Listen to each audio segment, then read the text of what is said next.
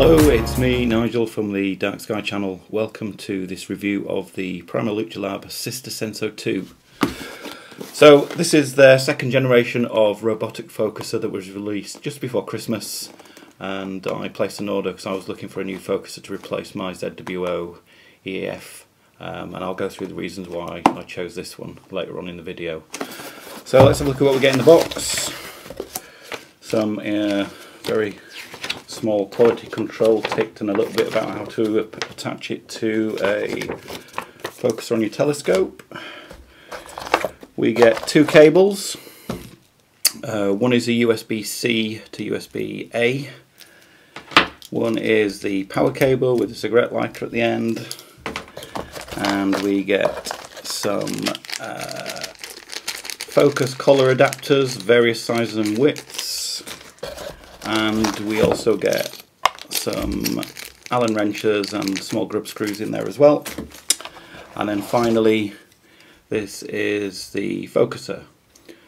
Um, first of all what you feel is it's, it's got a little bit of weight to it um, feels really well made. Uh, there's no signs of any damage or scratches. Uh, it just feels nice in the hand. Uh, one thing you'll notice about this focuser is there's no bracket to attach to a telescope. So a lot of uh, focusers traditionally have a bracket here and a bracket here, which allow you to uh, attach to many focusers. Uh, Labs have gone for the um, method of using a collar straight onto the focusing shaft of your telescope. They did this on the version 1, as I say this is the version 2. The actual writing on the front doesn't indicate it is version 2, um, but there's some uh, pointers as to why this is version 2. First of all, USB-C the version 1 was a traditional mini or micro USB cable. They've adopted now USB-C, which is great. Uh, I hate micro USB cables and micro USB ports. They have a tendency to snap off in the on the circuit board they're attached to over time. Uh, USB-C is just more sturdy and it doesn't care which way around you put it in. So in, outside in the dark, if you're fumbling, um, you don't need to sort of get all these lined up okay. You can just any orientation. There is an Arco port which is for their uh, rotator. I don't have one of those. And there's a 12 volt DC in. Uh, I'll come on to uh, that in a little bit as to what I had to do to, to use this. Um, and there's a thermal input uh, port for their probe. So if you wanted to attach this to their their, their thermal uh, device, which will allow you to do uh, focus and adjustments based on temperature movements. Across the top we've got some LEDs, we've got the power, we've got a Wi-Fi and Arco. Oh, said Wi-Fi. So this device has its own little Wi-Fi uh, hotspot built into it.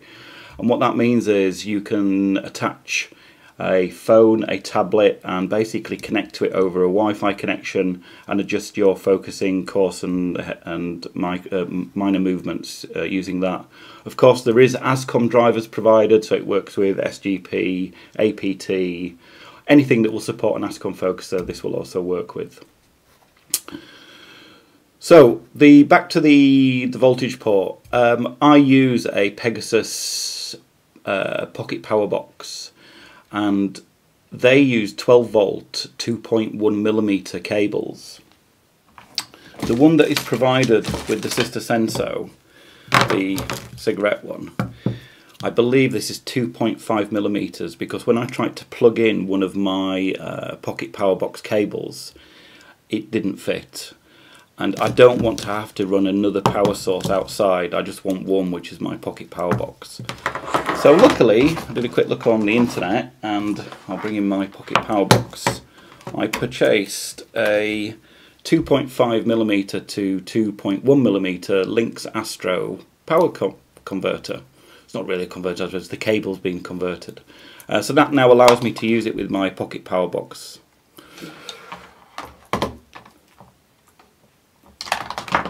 Okay, let's attach this to the telescope and see how we get on. Okay, I've got the uh, Sesto Senso 2 focuser attached to my Skywatcher Esprit 100. It was relatively straightforward. I just downloaded the PDF from the Primaluce website, followed the instructions and uh, was fairly fairly painless.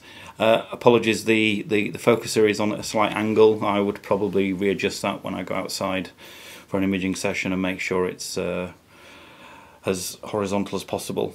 Um, as you can see on screen there is the web page, um, there's no application, you simply uh, point your web browser at the Sesto Senso 2's IP address.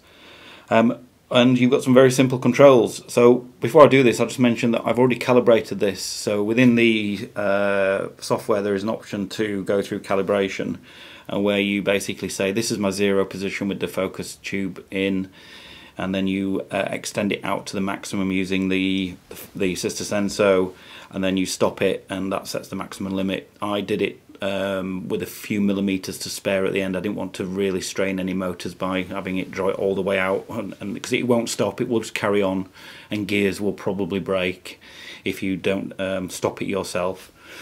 So let's just do a quick demonstration. We've got a slider here. I can just say where I want to go, and hit go, and the draw tube starts drawing out really nice and smoothly.